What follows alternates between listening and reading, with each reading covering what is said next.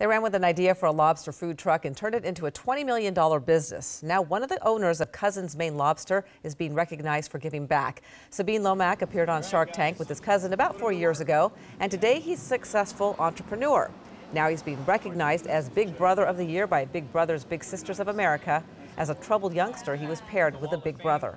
As a little brother, uh, you know, knowing what it's like to grow up without a father in the house, and, and now to be able to give back to the community, to give back to my little brother and help grow. I'm a member of the board here in LA, so just means everything. So to win the award is really, really special for me. I've just grown as a person. Having Sabin around has been a wonderful blessing for me. Today, Cousins Maine Lobster have 20 food trucks across the country, distribute their dishes nationally, and own a restaurant in West Hollywood. Congratulations. Well done. Yeah. And support them. Mm-hmm. Good cause.